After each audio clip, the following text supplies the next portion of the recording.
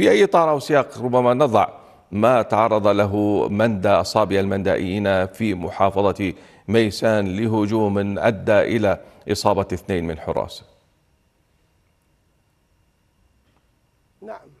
شكرا على الاستضافة. هذا مو أول استهداف للمكون الصابئي. أول ما بدأ الاستهدافات آه، من التهجير وبدأت الاستهدافات من البيوت والأراضي وهسه بدأ الاستهداف على آه، المعابد.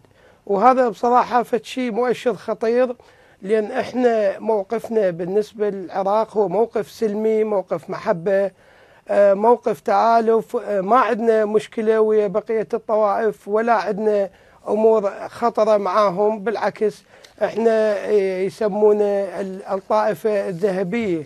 والمفروض الطائفة الذهبية المفروض تكون أرقى من أن تكون. ويحافظون عليه.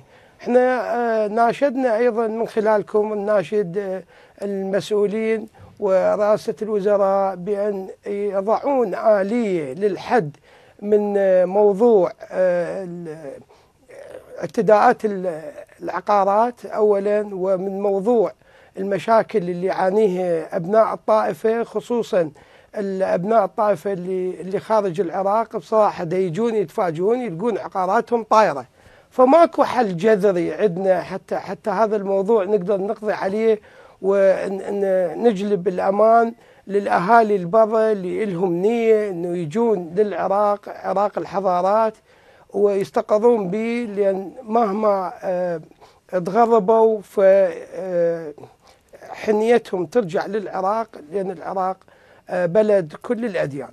طيب ما هي الرسائل بتقديرك المراد إرسالها من وراء هذه الهجمات. هل هناك ربما جهات داخلية تعمل على تقويض الأمن في العراق بعد النجاحات التي حققتها الحكومة؟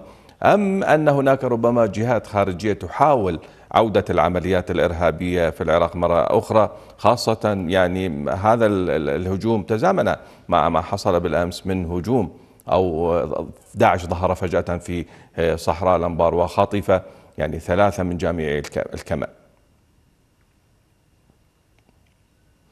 شوف إحنا هنا بالعراق آه، أنا أتوقع آه، بعد النجاحات اللي حققتها الحكومة والافتتاحية للسيد رئيس الوزراء محمد شاع السوداني آه، أضاف نكهة جديدة أو عمل جديد وبصراحة تفاجئنا به.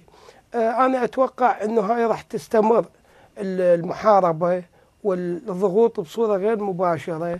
حتى أكو نوع من أنواع الضغوط اللي تصير. اللي حيقول لك إنه شوف ترى هو صح ده يبني ويسوي بس باوع الأمن عنده بخلل. يعني هاي حسب توقعاتي يعني وجهة نظري. فالشيء اللي دا نلاحظه إنه بالاونه الأخيرة قتل آه سلب. آه يعني دا تصير مواضيع بصراحه دا نتفاجئ يوميا فلان انتحر فلان انقتل. زين هل هذا الموضوع هو اعتباطي؟ هل هذا الموضوع إنه هو يعني موجه لو لو هيك نبع هيك آه، فجأة نمنا قعدنا فجأة بدت هاي السلسلة. قبل كانت بالطائفية أول ما بدأت بدأت هيك. بدأت فلان قتل فلان فلان خطف فلان فلان وبدت شوي شوي تصعد الوتيرة خلال أشهر. فأنا أتمنى من الحكومة أن تعالج هاي المواقف أول بأول وتضع لها حلول لأن الأمن من أولويات أي حكومة تريد تستقر وتريد البلد أن أن يكون إلى الخير وأن ينعم به جميع الفئات وكل الفئات آه، وخصوصا الاقليات بالعراق. وإحنا المشكلة الاقليات مشكلتنا بالأقليات.